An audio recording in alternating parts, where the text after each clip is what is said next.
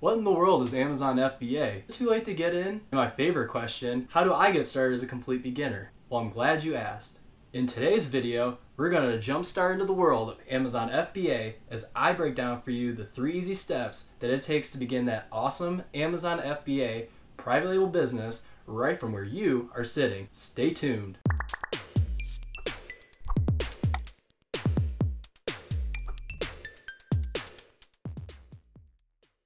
Hey YouTube, my name is John Hammer, and thank you for coming to my channel. My passion is helping you achieve time and money freedom by building a rewarding Amazon FBA private label business. If this is your first time here and you enjoyed this video, be sure to hit the like, smash that subscribe button, and kindly tap on that bell notification so that you can be on top of when my next video comes out. Let's get started. First off, let's go over real quick what Amazon FBA actually means and why it's such an awesome time to get started in this type of e-commerce business. So FBA is short for Fulfillment by Amazon.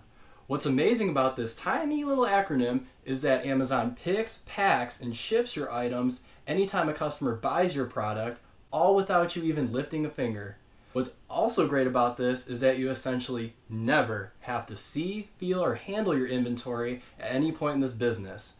It's all conveniently stored for you in a special Amazon FBA warehouse. However, let's get one thing straight here. Amazon FBA is not dropshipping. Dropshipping is where you don't actually own any of your own inventory. You manually have to build your own website, advertise your products on an external platform, and try to drive customer traffic from there to your own store website. On top of that, you have to place each and every order to your supplier each and every time. Then they have to send each and every order to your customer each time they buy your product. So essentially, the shipping time can be as long as up to a week. With the power of FBA, however, you can private label your own product. That means you can find generic products and place your own unique brand label on them so that it stands out. And you can use Amazon's platform to sell your own products. Let's not forget that Amazon's platform allows you access to sell to millions of customers. As of this filming, they have already surpassed 100 million, not just customers, but prime members, which means that every time Amazon ships out your product, it will arrive at their door in two days, one day, or even hours. So now you might be saying, well, wait a second now. Does that mean that it's too late for me to start selling on Amazon with all those people on there? The answer is no, not even close. Amazon has less than 2 million sellers, which might sound like a lot on paper, but compared to the amount of buyers that they have, that's less than one out of every 50 customers. There's truly no better time to start selling on Amazon. So now hopefully I've convinced you to embark on this exciting journey. So let's move on to the three easy steps that I want to share with you to start selling successfully as a private label business on Amazon. Let's get started. The first step to starting an Amazon FBA business is to find your product. Here, we want to find products that have low competition yet high demand opportunities. Essentially, we want to make sure we follow this low competition, high demand rule when picking a product so that we don't run into any huge obstacles when we're finally ready to sell. The number one key to assessing the competition is to always look at the reviews. As a rule of thumb, we want to find most listings on the first page that are under 100 reviews. On the other hand, we want to avoid competing with listings that have hundreds or even thousands of reviews. A product research tool can help make this process more efficient but is not required if you're just starting out.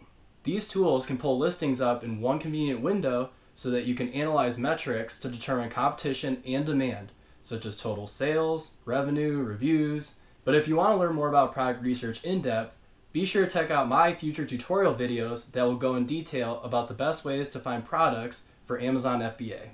Alright, so step number two is to actually source your product. Here, we want to find a manufacturer that will make these products for us and apply our special private brand label.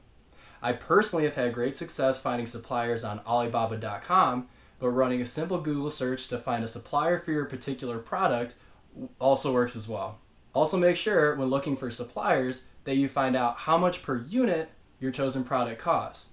We also want to look for suppliers that are verified. highly rated, and have been in business for quite a while now. Finding a reputable supplier can make your product save you many, many, many headaches down the road. Next, we want to contact suppliers that meet our criteria, such as picking the best one and paying a down deposit so that they create our product. Be sure to request a sample of their product and inspect during the manufacturing process to ensure that they are meeting your desired quality standards. Once they have finished making your product, ship the inventory to an Amazon FBA warehouse so that Amazon can check in and fulfill your shipping your orders for you. Step number three, and the absolute best one in my opinion, is to finally start selling your product. We want to create our first listing here so that we can give our private label product a beautiful home on Amazon's website. This means looking for keywords that are relevant to the product we are selling so that it will show up correctly on Amazon's search algorithm. Again, using a tool here can make it easier and more efficient to find keywords that relate to our listing so that we can use them in our title, bullet points, and description, but is not required when we are just starting out. Oh, and don't forget to post high quality photos that show off not just the features of the product, but ways in which it can benefit our target customers. Once the inventory hits the FBA warehouse, our listing will officially go live. However, with zero sales on Amazon, they cannot possibly rank the listing very high. Therefore, we need to give that listing a boost and launch with daily sales right out the gate so that our first product will rank to the top of page one and give our private label brand the exposure that it deserves. There are several ways to do launches, but the two easiest ones, in my opinion, are by applying either an enticing discount coupon or promotion to the listing and by Amazon sponsored ads, also known as PPC, to attract new customers to the listing.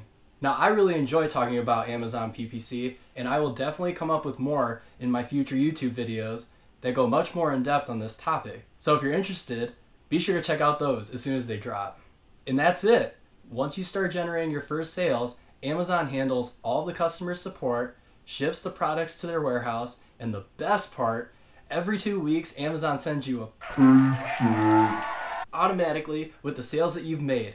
It's really that easy. Comment yes below if you feel motivated to start on Amazon FBA business now that you've learned these key tips. So there's really no reason when it comes to getting started right now and begin building your successful Amazon FBA business. Get out there. Go. Start now. Do it. If you enjoyed this video, be sure to hit the like button and the subscribe so that you can watch more videos like this uploaded constantly on my channel. Thanks for watching.